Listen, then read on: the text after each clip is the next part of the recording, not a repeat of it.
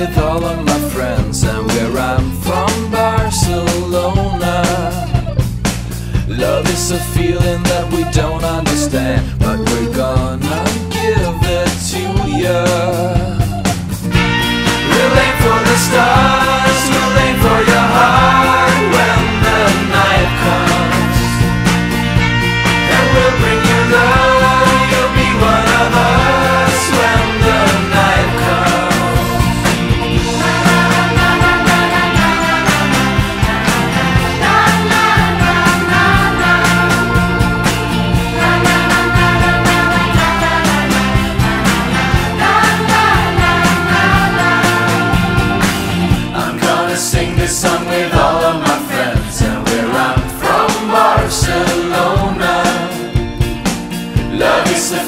that we don't